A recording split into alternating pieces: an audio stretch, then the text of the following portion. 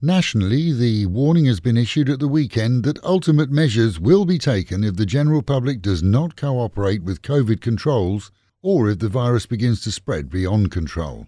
This as COVID cases have appeared around much of the country. Locally in Rayong province, adjacent to our own, and within a few kilometres of Pattaya, strict controls have been introduced following a huge outbreak in the city of Rayong, which has spread into rural districts. In the city itself, all entertainments, pubs, schools, gyms, and more have been ordered to close, along with shops not selling essential food and medical supplies.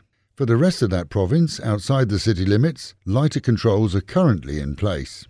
And in Chiang Mai, COVID security has been enhanced after a woman from the Rayong area flew there from Utapao, later found to have the virus and with the New Year exodus already in flow, seeing Thais return home for festivities, we can sadly expect many new outbreaks.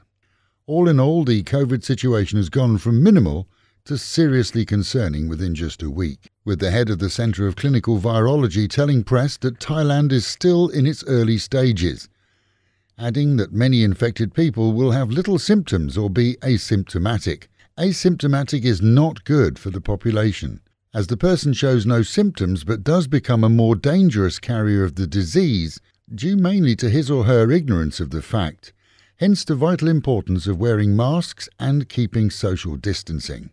Authorities, encouraged by the Prime Minister himself, are said to be close to nabbing locals' so called officials in some areas who've colluded with those smuggling in illegals from neighbouring countries.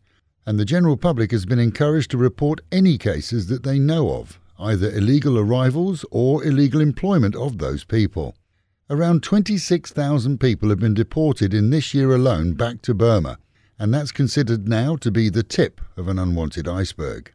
There can be no doubt that the current leap in cases here is directly related to illegals arriving from neighbouring Burma, along with Thais who work there coming back and avoiding quarantine. However, to blame the workers would leave the employers here, many of whom employ illegally, without egg on their faces, and that's not a fair assessment. Without illegal work here, the migrants wouldn't have come, it's that simple. For now, though, the initial swathe of cases, much contained within the Burmese community here, has been overtaken by the number of cases involving Thai nationals. Since early in the year, Thailand has managed to retain a very low COVID count, mainly due to the majority of people here adhering to the regulations. At some time, those employers have to be held to account for encouraging illegals to come here, bringing with them the very virus that Thailand has fought so hard to avoid, but now it's too late. In Samut Sakhon, testing has evolved from nose swabs, which take 24 hours to produce results, to the latest blood testing, which is done with kits that generate results within 30 minutes.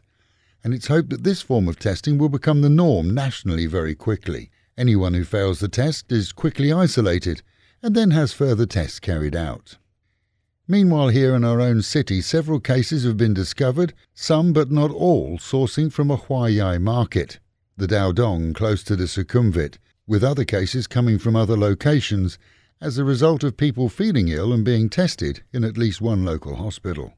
The provincial officers sent out warnings to all who'd shopped at the market over the past 14 days to look out for symptoms. This, as all markets throughout the region have heightened safety precautions on entry and while people shop.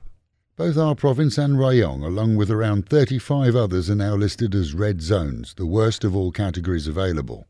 City Hall emergency teams have been meeting through the weekend to put together several contingency plans, all designed for various stages that could be reached but have not been reached yet, meaning that the city is prepared.